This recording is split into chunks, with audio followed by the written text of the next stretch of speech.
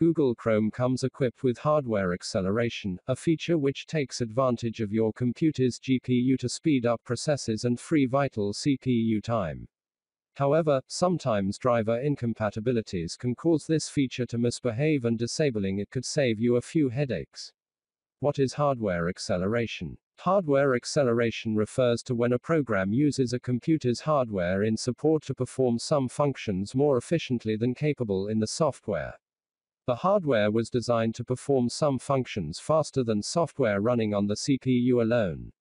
In Chrome, hardware acceleration utilizes your computer's graphics processing unit GPU to tackle graphics intensive tasks, like playing videos, games, or anything that requires faster mathematical calculations. Passing off specific tasks gives your CPU a chance to work tirelessly on everything else, while the GPU handles processes that it was designed to run. While this does sound great in most cases, sometimes hardware acceleration can cause Chrome to lag, freeze, or crash. It could even cause your laptop's battery to drain a lot faster. As everyone's computer is slightly different, the issue could lie in the GPU or driver associated with it. If you suspect hardware acceleration is the culprit, the best thing to do is to disable it and see if that fixes the problem. By default, hardware acceleration is enabled on Chrome, so let's look at disabling it first. Fire up Chrome, click the menu icon, and then click on Settings.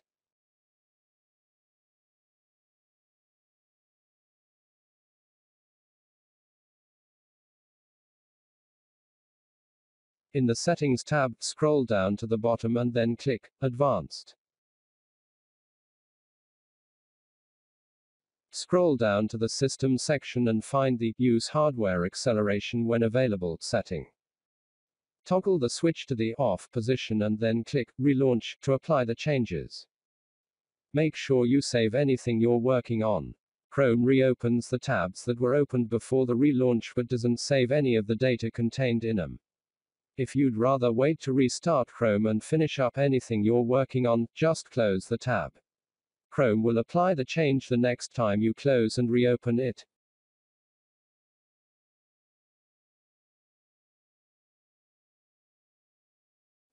If you're looking to enable or re-enable hardware acceleration, click the menu icon, and then click on Settings. In the Settings tab, scroll down to the bottom and then click Advanced. Scroll down to the System section and find the Use Hardware Acceleration when available setting. Toggle Use Hardware Acceleration when available setting to the On position. Then click Relaunch to apply the change.